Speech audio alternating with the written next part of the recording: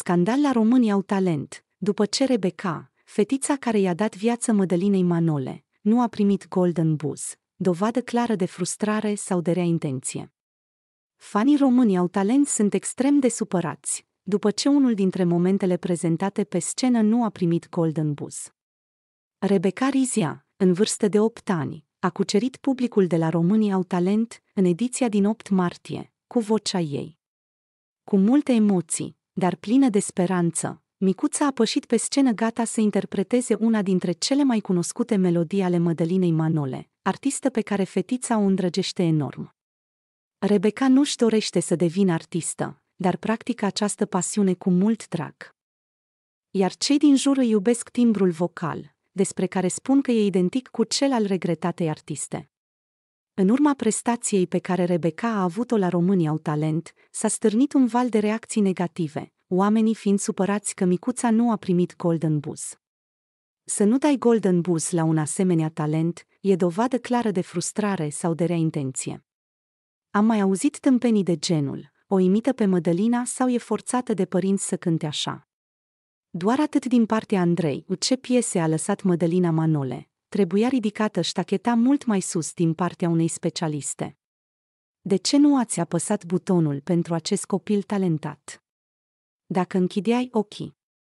Jurai că e Mădălina, am plâns toată melodia, super voce, super talent. Bravo, Rebecca! Zici că Mădălina Manole s-a reîncarnat în micuța Rebecca. La doar opt anișori, o voce incredibilă, un timbru vocal tras la indigo.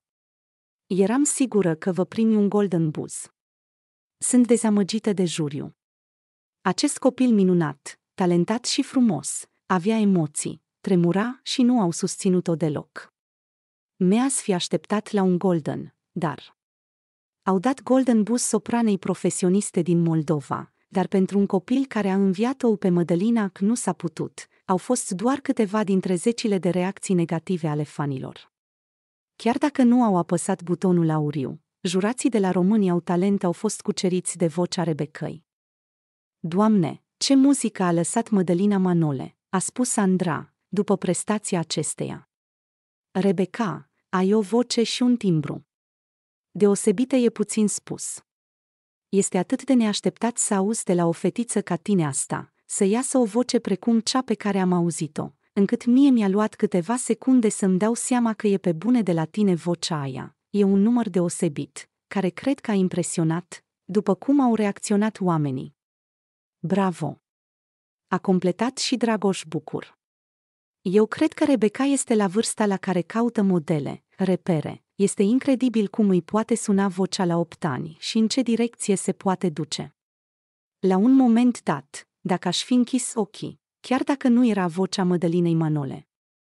Era timbrul ei, ceea ce este incredibil. Dacă ție îți place să cânți, merită, pentru că ai plămâni, timbru, restul se educă. Ai o față care e ca soarele, când apare pe scenă, răspunsul meu e da. A spus și Andy Moisescu.